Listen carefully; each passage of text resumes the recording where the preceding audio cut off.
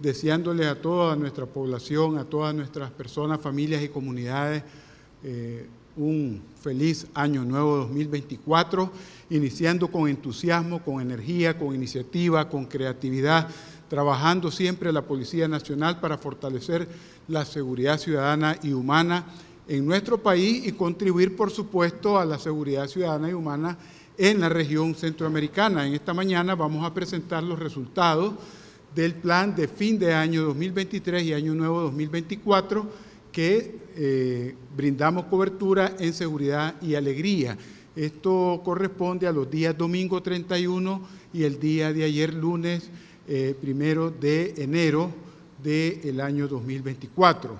Eh, brindamos protección policial, garantizando seguridad a las familias nicaragüenses, a las personas que nos visitaron y que todavía están aquí de otras nacionalidades y que disfrutaron las actividades de Navidad y de Año Nuevo en destinos turísticos, balnearios, en un ambiente de paz y seguridad. ¿A qué brindó protección y seguridad nuestra Policía Nacional?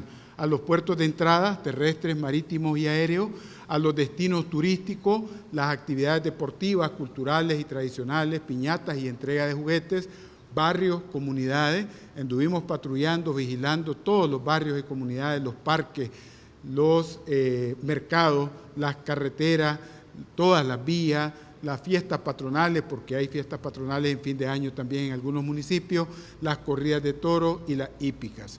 Nuestra Policía Nacional desencadenó eh, implementó un plan especial en el que participaron todas las fuerzas policiales del país. Eh, realizamos inspecciones a todos los lugares en los que se comercializa pólvora y en los que se fabrica pólvora. Un total de 972 inspecciones realizadas, 20 a talleres en los que se fabrican fuegos pirotécnicos y 952 a los puestos de comercialización en Managua y en los municipios del país. Todo con buen suceso. También atendimos las llamadas de emergencia, en total 10.569 llamadas por emergencia que fueron recibidas en la línea 118 en los distintos municipios del país, en las cabeceras departamentales. En total en los departamentos fueron 5.789 y en Managua, por supuesto, 4.780. Eh, brindamos además de recibir las llamadas de emergencia, brindamos atención a estas emergencias con satisfacción para nuestros usuarios y usuarias.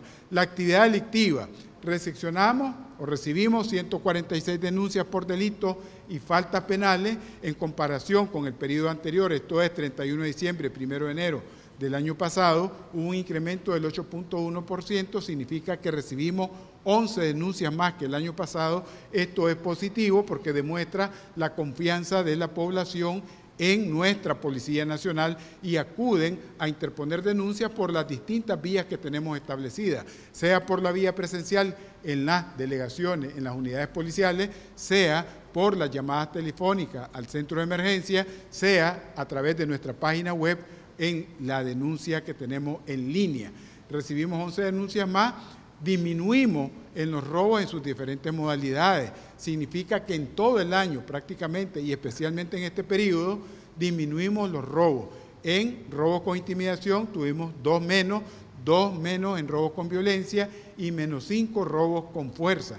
Asimismo, disminuimos en las muertes homicidas durante este periodo y en general en el año 2023 todavía estamos conciliando los datos, pero tuvimos muchas menos muertes homicidas que en el año 2022, de tal forma que probablemente estaremos cerrando prácticamente en este día de mañana o pasado mañana en 6.2 homicidios por cada 100.000 habitantes. Una reducción sustantiva con respecto a las estadísticas de nuestro mismo país y con respecto a las estadísticas de los demás países de la región.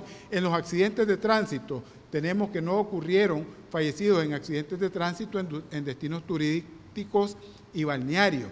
Eh, en total, a nivel nacional, reportamos que en el año 2022 se produjeron 200 eh, accidentes y en el año 2023, en este mismo periodo, 172 fallecidos en este año, 6, en el año 2022 fueron 13, la diferencia es menos 7 y los lesionados quedamos iguales, 10 el año pasado, 10 este año, 2023, y redujimos los accidentes en menos 28.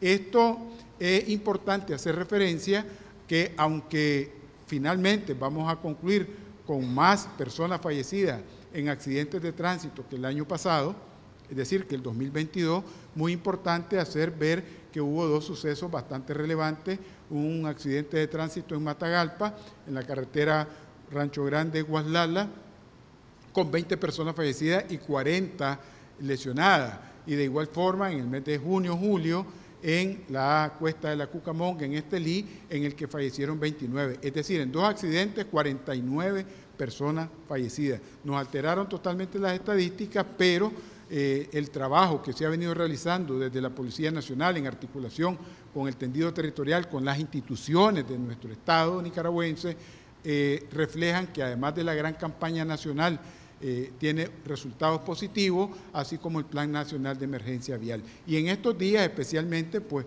estuvimos atendiendo las principales causas, que es el estado de ebriedad, el exceso de velocidad, no guardar la distancia. Los fallecidos fueron, como ya decíamos, seis, eh, tres peatones, dos conductores de motocicleta y un pasajero.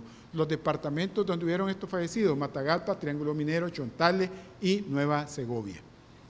Droga incautada, seis libras de marihuana, en estos dos días, muy importante porque eh, nosotros seguimos con nuestro plan de atención a la estrategia de seguridad ciudadana y humana, la prevención del crimen organizado y el narcotráfico internacional, especialmente lo que se refiere al abastecimiento y el expendio de droga en nuestro país. Hemos, hemos disminuido la accidentalidad del tránsito, lo decía, menos siete fallecidos, y las familias nicaragüenses y personas que nos visitaron de otros países disfrutaron estas vacaciones de fin de año eh, con actividades culturales, turísticas, comerciales, tradicionales, deportivas y en general todas las actividades cotidianas en paz y tranquilidad. Nuestra institución en este año 2024, que cumplimos 45 años de institucionalidad policial, ratificamos nuestro compromiso de continuar fortaleciendo la seguridad ciudadana y humana, protegiendo a las personas, familias y comunidades. Muchas gracias y buenos días.